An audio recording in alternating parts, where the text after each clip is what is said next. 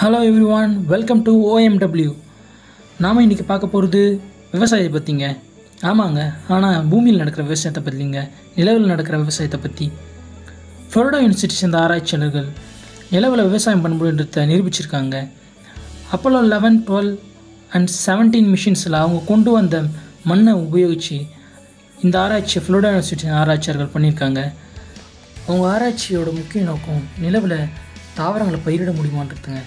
அப்படி பயிரிடப்பட்டால் அந்த தாவரங்கள் நிலவோட சுற்றுச்சூழலுக்கு ஏற்ற மாதிரி எப்படி தங்களை தகவமைச்சு கொள்ளுதுன்னு அவங்க தெரிஞ்சுக்க விரும்பினாங்க. ஏன்னா நிலவோட மண் லூனார் ரீகோலித்துன்னு சொல்லப்படுற நிலவோட மண் நம்ம பூமியோட மண்ணிலேருந்து முற்றிலும் வேறுபட்ட ஒன்றா இருக்குதுங்க. அப்படி இருக்கும்போது அந்த மண் எப்படி தன்னுடைய சுற்றுச்சூழலுக்கு ஏற்ற மாதிரி தாவரங்களை வளர்க்க உதவுன்றதையும் நம்ம ஆராய்ச்சியாளர் கண்டுபிடிக்க விரும்பியிருக்காங்க.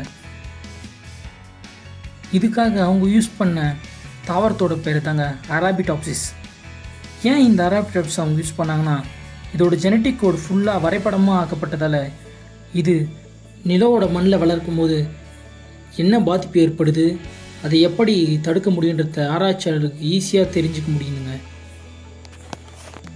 இந்த தாவரத்தை தாங்க நிலவோட மண்ணில் வளர வச்சு ஃப்ளோரிடா யூனிவர்சிட்டி சேர்ந்த ஆராய்ச்சியாளர்கள் சாதனை படைச்சிருக்காங்க. இதனால் நமக்கு என்ன பயன் யோசிக்கிறீங்களா? இருக்குங்க. வருங்காலத்தில் நம்மளால் நிலவிலிருந்து விவசாயம் பண்ணி அதை பூமிக்கு கொண்டு வர முடியுங்க.